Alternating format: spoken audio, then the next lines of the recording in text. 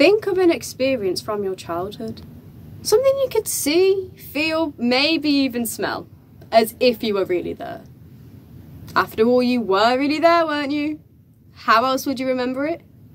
But here's the bombshell. You weren't really there.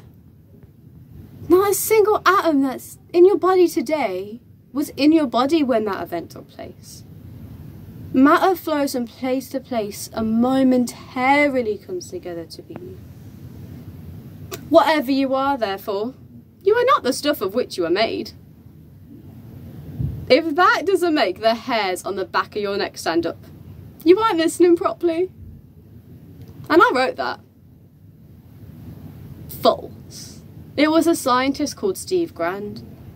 But when we experience something, a sequence of neurons fires in the brain, and when we remember it, the same sequence fires again.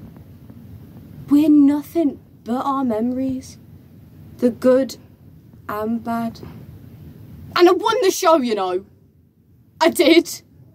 Not with a gun. Fair and square. With my mind, I won. I got to go through the door. And the prize was a video recorder. After the show had gone off air, Jerry Holland said Daniel Kaplan wanted to hang out with me and I was excited. My parents waited for me in the green room while Jerry Holland delivered me to Daniel's dressing room. Daniel was sitting there on the table.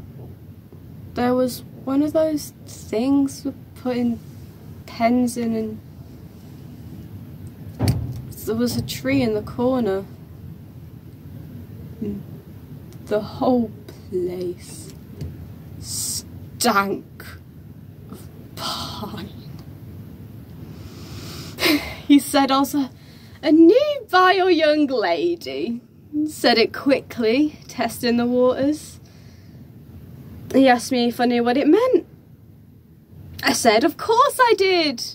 I'm the champion. He asked me if I wanted to be on the show again next week. I said, of course I did. I'm the champion. Then he said there was a price to pay.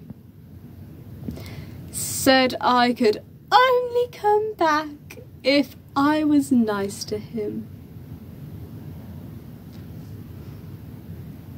If I was nice to him.